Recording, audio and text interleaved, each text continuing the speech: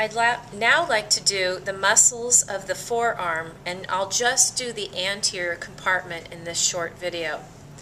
I always like students to find landmarks. It helps them to identify the muscles better. And I always tell them to start with this muscle right here. It's called the pronator teres, and its origin is on the medial epicondyle of the humerus, and it inserts on the lateral part of the radius, and it pronates and flexes the forearm. The reason why I tell students to start with the pronator is because I think P for pronator and P for point.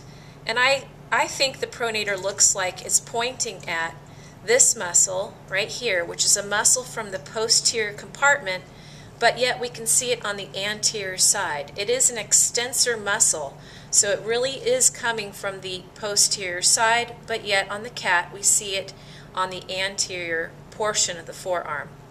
This muscle that the pronator is pointing to is the extensor carpi radialis.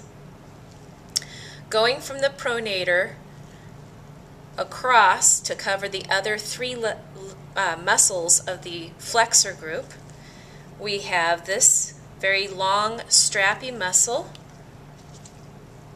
and this muscle that's in between this long strappy muscle called the palmaris longus, this muscle in the middle between the pronator teres and palmaris longus, this is the flexor carpi radialis. The flexor carpi radialis has its origin again on the medial epicondyle of the humerus and inserts on the base of the second and third metacarpals. Its action is to flex the wrist and abduct the hand. Going back to the long strappy muscle here, the palmaris longus, it too has its origin on the medial epicondyle of the humerus, and it inserts on the palmar aponeurosis. Its action is to tense the skin and fascia of the palm, and it is a weak flexor of the wrist.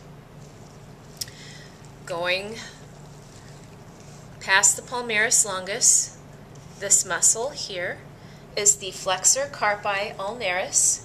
It has its origin, again, on the medial epicondyle of the humerus.